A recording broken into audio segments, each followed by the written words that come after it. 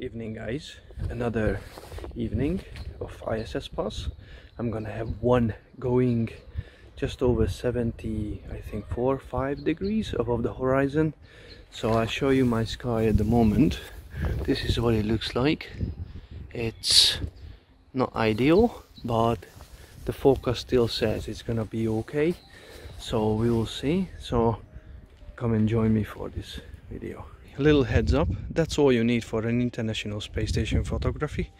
You need a telescope you need some accessories like the camera and lenses you need a Bahtinov mask and you need a laptop. That's all you need. So I'm assembling my telescope. I'm basically expanded the scope itself and now I am going to do the collimation and just do the basic setups. Basically it's still too bright but I'm waiting for a couple of stars to emerge and then I can take focus which is going to be I think pretty close to the flyby time. So and on top of it you will see my challenges because I'm on the street. There is one street light there that one. So I'm sort of putting myself it's not ideal at all that's how I usually cope with my circumstances. But the ISS should fly something like all the way up. But because of that light street light I might be a little bit in a difficult position. But I have to be on the street because from my balcony I just can't see it. So what I wanted to show you is this. If I put this on the maximum which is yeah. Okay hopefully you're gonna see how Telrad works. Can you see those concentric circles yep. That's it. So from here from this angle you see I can see the circle and there's um, Venus in the middle of it. There you go. That's it. So it's kind of pointing towards Venus. So this is how I am setting up my aim with the Telrad okay now everything is set apart from focusing you can see the big donut that's Venus and if I defocus there you go that's the half Venus. But okay so I sorted it out a bit because I need two hands to keep pushing the scope. So okay that's Venus. Sadly if I apply the Bahtinov mask which is that one then it cannot I use that for sharp focus but that cannot be used with planets. It can only be used with stars. So I'm waiting now. Okay so this is the equipment. I'm waiting for the sky to get dark enough. I don't know when is it going to happen. It's not ideal but I still have clear patches and I'm just hoping that the clouds eventually gonna go away and disappear. Uh, yeah that's the waiting game okay Bahtinov mask is on. The flyby starts at 51 but it's gonna be still low.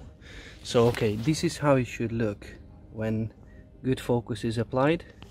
And now once it's done I just take off the Bahtinov mask and I set the correct values and let's begin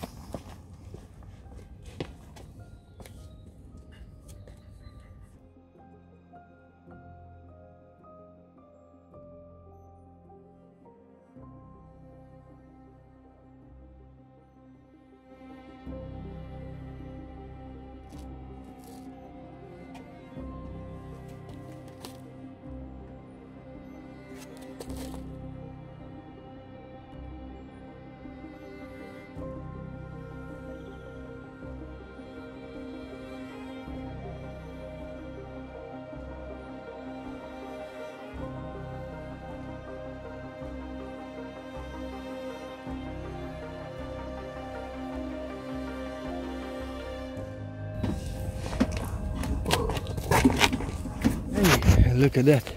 ISS is still there. Okay, let me just show you. Oh, ISS is still flying there. Look. yeah, there it is. Still flying there. That's ISS, just there. And I just took some photos, hopefully. Look at that. How cool is that? Honestly.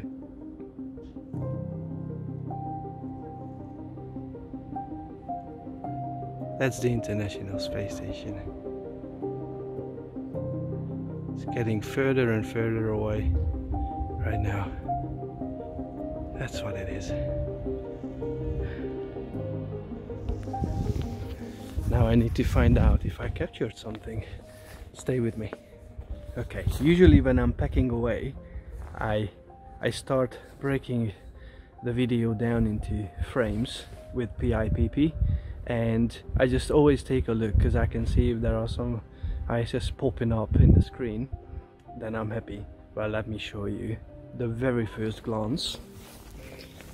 Look at that. Look at that. So this is going to be good.